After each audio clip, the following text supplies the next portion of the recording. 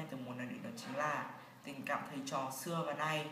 Tại sao mình làm vlog này? Là bởi vì hiện giờ đang là tháng 10 và còn vài ngày nữa thôi là sang tháng 11 và trong tháng 11 thì có một ngày lễ rất là đặc biệt đối với các thầy cô, đó chính là ngày 20 tháng 11 thế nên mình làm vlog này là để tỏ lòng biết ơn, tri ân đến các thầy cô đã dạy dỗ mình nên người. Thôi, bắt đầu luôn bây giờ nhá. Theo mình tình cảm thầy trò là một tình cảm rất thiêng liêng, cao quý giữa thầy và trò mà ai cũng đều có. Tình cảm đó được xuất phát từ cả hai phía là thầy lẫn trò. Và tình cảm thầy trò thì đã tồn tại từ rất lâu rồi. Đầu tiên là nói về tình cảm ngày xưa. Ngày xưa theo mình được biết rằng thầy giáo là một trong những người rất là nghiêm khắc đối với học sinh. Nhưng mà dân dân ta có câu rằng, muốn sang thì bắc cầu kiều, muốn con hay chữ thì yêu lấy thầy thế nên cho dù thầy giáo có đánh học sinh, nhưng mà học sinh vẫn luôn luôn tỏ lòng biết ơn đối với các thầy, cô giáo đã dạy dỗ mình.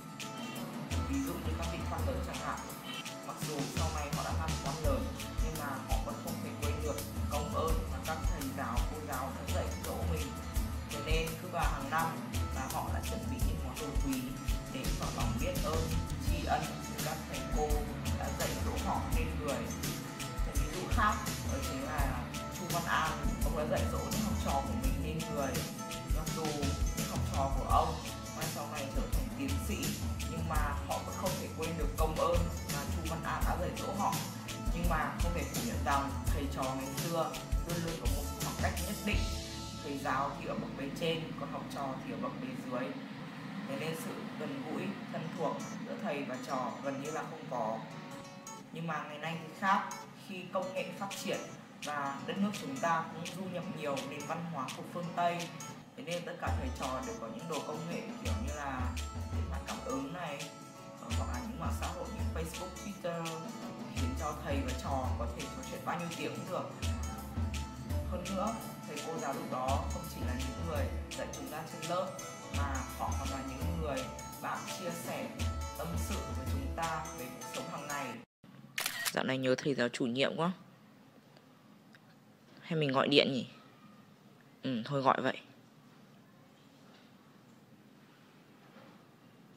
Alo chào thầy ạ. Ừ có bài Thành đúng không? Dạo này học tốt không? Dạ em học cũng tốt ạ. Ừ, Em cũng hay điểm 10 Cái gì? Em chỉ được 10 điểm thôi á. Kém thế Phải 10 cộng. Hoặc ít ra cũng phải 11 điểm nhé Ờ nhưng mà không cãi, hiểu chưa? Thầy đã nói nào? Em phải làm đúng như thế. Tuy nhiên, mình cũng không đồng tình với một số học sinh có thái độ không tôn trọng giáo viên. Ví dụ như những học sinh nói chuyện trong giờ chẳng hạn. Khi họ bị thầy cô giáo nhắc, họ lại đâm ra bực tức, ghét bỏ các thầy cô giáo đó. Trong khi lỗi sai chính là ở họ. Và còn có những học sinh sẵn sàng dọa đánh thầy cô nếu như không đăng điểm lên cho bọn họ. Ông kia, đứng lại. What the lợn? Bây giờ ông còn đang điểm cho tôi không? Hay là ông muốn ăn đòn? Hả? Này, có vi phạm nội quy nhà nước không đấy? Cậu có biết rằng nâng điểm là một việc rất là khó khăn. Cần phải xin các cấp, các chính quyền địa phương phải vào cuộc. Cần phải có những biện pháp rắn như là răn đe, như thế mới hiệu quả được. Hiểu chưa? Ông bị điên à?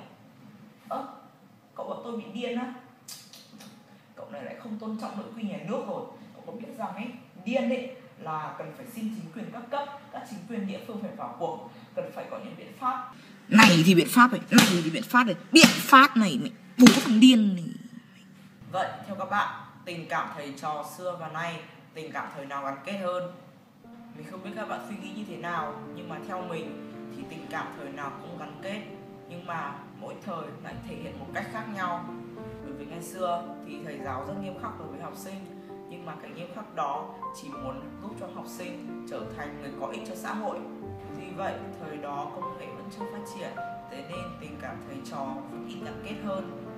Còn ngày nay thì như mỹ đã nói ở trên là công nghệ phát triển, nước chúng ta cũng du nhập nhiều nền văn hóa của phương tây. Chính những cái đó khiến cho tình cảm thầy trò càng trở nên gắn kết hơn.